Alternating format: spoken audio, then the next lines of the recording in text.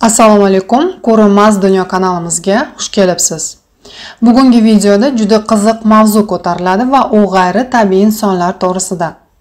Demak tinglovchimizdan kelgan bir savol. Man namangan viloyatida ziyoratda bo'ldim. Sulton uvays qaroniy va uning onalari naima bibi qabrini ziyorat qildim sulton uvays haqida uni mehribon rahmdil yuragi haqida ko'p mo'jizalar aytib berilgandi.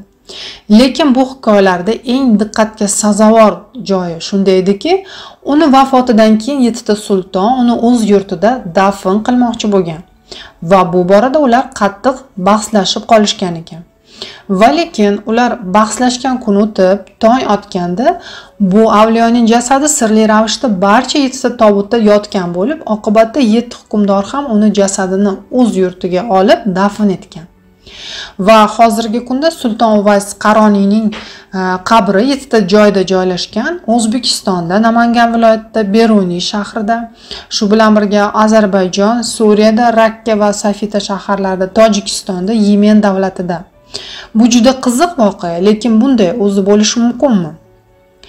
Albatta shunday holat bo'lishi mumkin va bunday rivoyatlarning negizida aslida haqiqat yotadi. Bu masala ko'plab manbalarda ham yoritilgan.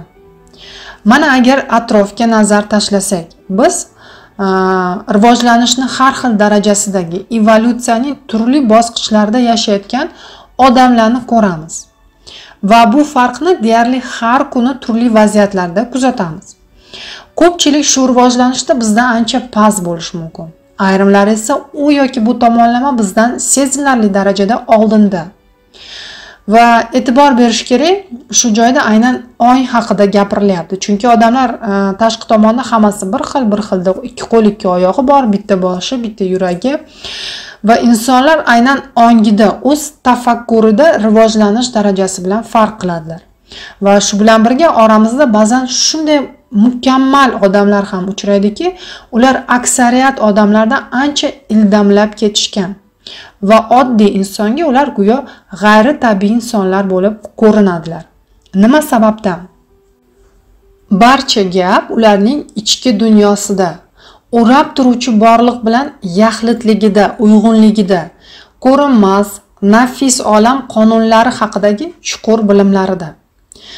Avvalambor bunday yuksak ma'naviyatli insonlar o'zlarining shahvoniy tabiatini irodaga bo'ysundirib ya'ni o'z nafsini yengib yashashgan.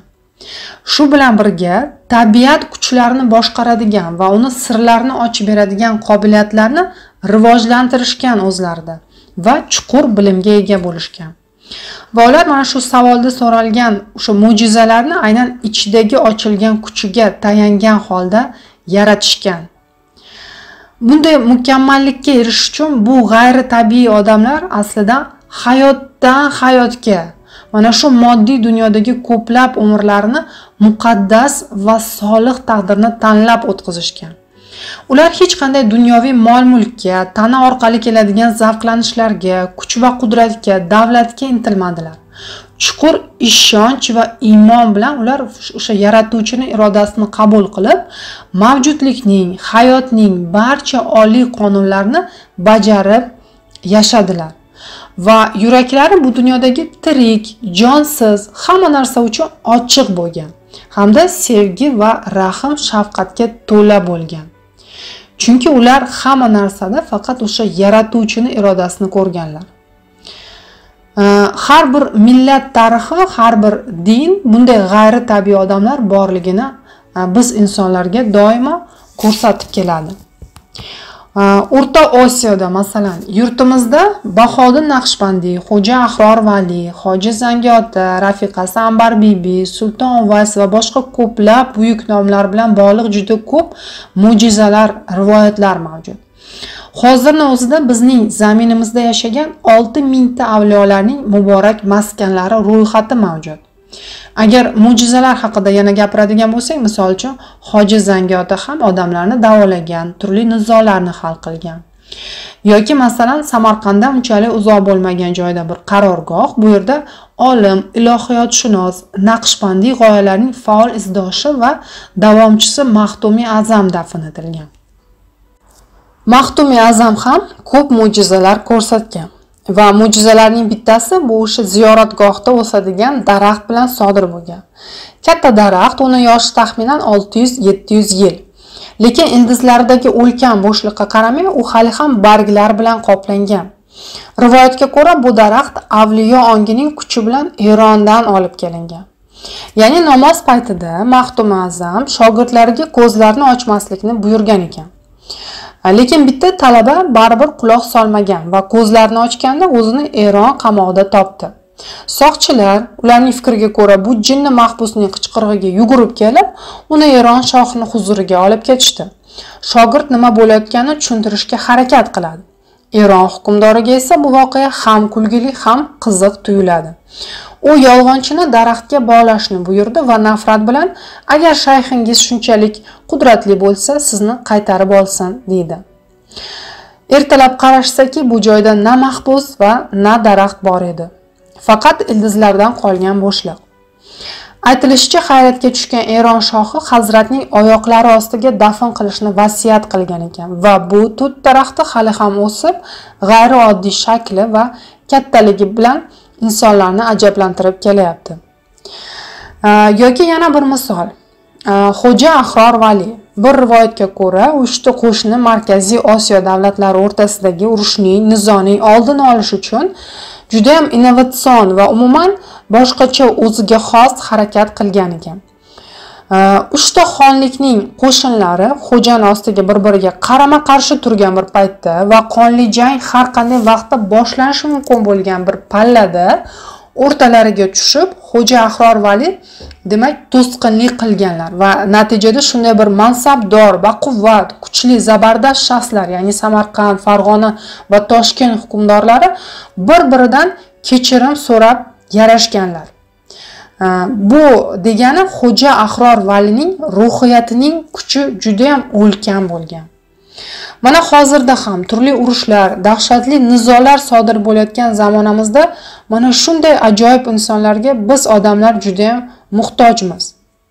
Boshqa dinlarda ham masalan nasroniylar orasida iso payg'ambar hattoki o'liklarni tiriltirgan.